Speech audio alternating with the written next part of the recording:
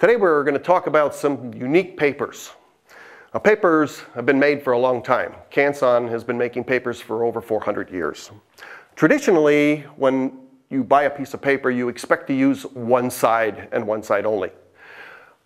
But today, I'm going to show you papers that actually have two usable sides. Canson has been, it was the first to make a dual-sided paper.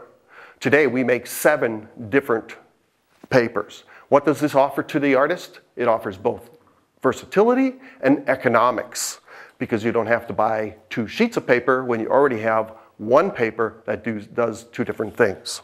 Let's go through in some of the papers that I have here today.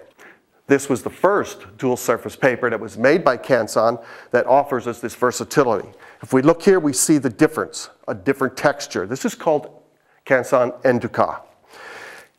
It has a smooth side on the back, it has a textured side on the front. And you can see from the mediums that, we, that are used on this, it is really an all-purpose paper. Another one which is really the workhorse of uh, an introduction to many foundation students uh, and amateurs alike is Meton or Metense, whichever way you would like to pronounce it. It is a paper that is known, is very well known by pastel artists because of the unique texture. One of the things to remember about textured papers, the more texture, the more soft mediums such as pastel and charcoal you can put on there, more and more layers. But one of the surprising things is the back side of this paper. The backside offers us a smooth side which can be used with pen and ink, colored pencil, and also with graphite. Also, it comes in 60 different colors. A watercolor paper that offers us, offers us a dual-sided paper is Canson 100. With the Canson 100, we have a paper that has a cold press side on one side and a rough side on the other. Again, versatility. A newer paper, which was just introduced several years ago, is called Canson Edition. This is a printmaking paper, but it's also a drawing paper. It's what we call our crossover, which is a modern term that we all use today. It is our crossover paper. We can use it for both printmaking by soaking it. We can also use it for drawing and for a lot of multimedia materials. This is one of those unique papers that when you touch it, you don't think it has much texture. Once you use for instance, charcoal or pastel on it, you see that it has a lot of texture on this side. But it has enough stability that we could use light washes of watercolor and even light washes of acrylic. On the back side, it's nice and smooth. We could use it for a rubber stamping, for uh, acrylic washes again, for graphite and pen and ink, for a lot of detailed drawings. You also notice here that I have some marker. This shows you that you need sometimes to learn the limitations of your papers. I thought, let's try this with marker.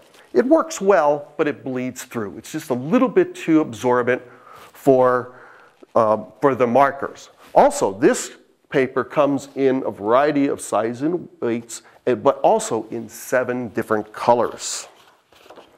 And by the way, this is the first acid-free black paper on the market. Another one is C à grain, a funny name, but in French it means sea grain. It's more of a technical term than a real paper title, but we'll live with it and it's unique. It is a paper that offers us a heavyweight paper with a lot of texture on one side, again for a variety of mediums, and again on the back a nice smooth side for pen and ink and detailed drawings. Another paper which is very economical and is used in a lot of schools with, for a lot of variety of, of techniques is Colorline. Color line comes in 24 different colors, offering us a texture side and also a smooth side. And last but not least, a new paper just developed last year. It's a recycled Bristol paper with two usable sides, meaning that it has a vellum texture on one side and a smooth texture on the back. Most people that would buy a Bristol would have to buy two different sheets.